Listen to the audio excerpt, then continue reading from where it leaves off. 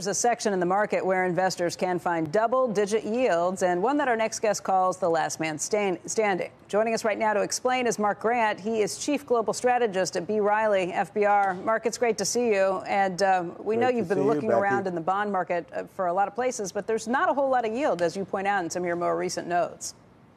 Well, by the way, it could be last woman standing as well. So, in any event, in any event, I think the biggest problem for uh, this coming year, and I mean the biggest problem in the markets for this coming year is the lack of yield. As you pointed out earlier, we're 184 on the 10 year.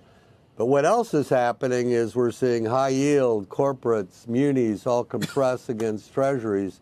And this lack of yield, and it's a matter of absolute value, not relative value, is hurting tremendously insurance companies, pension funds, university endowments, retirees, seniors. It's getting very tough to get a decent return on your money. And I think this is going to be an overriding theme in this year. Last year, it was made up, of course, by the uh, equity markets, and you know you're up 25, 30 percent, so you get some balance there. I don't expect anything like that this year. I think we'll be up equity markets maybe five or six percent, but I think this lack of yield is going to be a giant problem in our economy and for investors in uh, 2020. Hey, Mark, the lack of yield in the bond market maybe makes the stock market look all that much more attractive, which could lead to additional gains there as people forsake the bond market and, and, and double down, put even more money into equities. Well, that's what we had last year, Becky, but I'm afraid, in my opinion, that we're not going to get those kind of returns. Uh, this year. It's it's uh, it's almost never happened that we've had two back-to-back years like uh, last year. I have identified, as you pointed out, uh, one area, a small area, but uh, uh, I think a very positive area where you can get double-digit yields, and that's uh, closed-end funds. How long we had low yields? You finally noticed what's what's new about low yields that all of a sudden has become so portentous for you, Mark? I don't, I don't really. It's been what ten years? I think we're going to have low yields for a number of years. I know, but I why this year? Is that the overriding concern that you have when it's been something we've been living with for 10 years? Because we haven't had these kinds of low yields, Joe. We've had, you know, three, four percent, but we haven't had a 180 on the 10 year. We've so had that for the last three years, haven't we? No, no. We we're just getting well, to these very basis. low levels, and in the last year or so. We haven't been back to three. We've been between two no. and two and a half or something like that. So 20 basis points suddenly becomes a. Well, you get two effects, Joe. One is you get start getting closer to zero.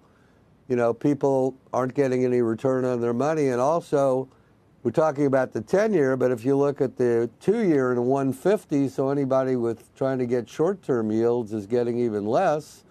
And I just find it it's going to be it's great for the government because the government can borrow at lower costs, but for investors, it's I think very problematical. I mean, we we've had you know five years ago we talked about insurance companies having trouble um, you know investing the, the premiums and getting in pension plans and, and anyone with a defined benefit plan that was on the hook for.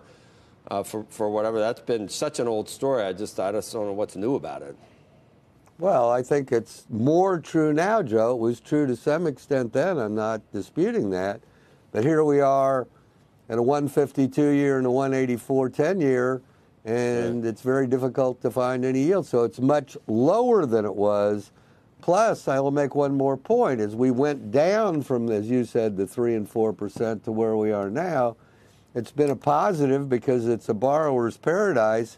It's been positive for real estate positive for the equity yeah. market, positive for margin accounts, and so forth. And now we're getting to the point where, as you get close to zero, you don't get the same momentum push from lower yields that you got before. Mm.